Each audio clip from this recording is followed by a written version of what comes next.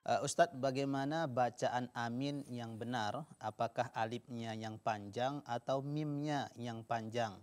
Ya, dari Mas Naufal Magelang. Ya, silakan Ustadz. Ya, jadi uh, amin ini memang dua-duanya panjang. Kalau kita lihat, hmm. ya alifnya panjang, ya amin gitu. Hmm, Minnya iya. juga panjang. Oke, jadi ya, kalau dan, uh, artinya adalah istajib doa ana. Ya, jadi A-nya juga panjang, minnya juga panjang. Ya, dua-dua panjang. Okay. Wallahu alam. Ya, jadi kalau dibacakan pendek ini artinya tentunya lain Ustaz ya. Ya. Oke. Okay. Kalau dibaca pendek amin itu hmm. lain artinya. Lain artinya. Okay. Ya, karena amin ini artinya hmm. dia adalah isim uh, isim fi'il amr. Ya, isim fi'il amr.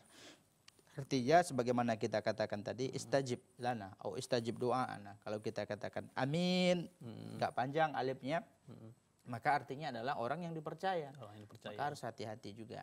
Betul. Ya.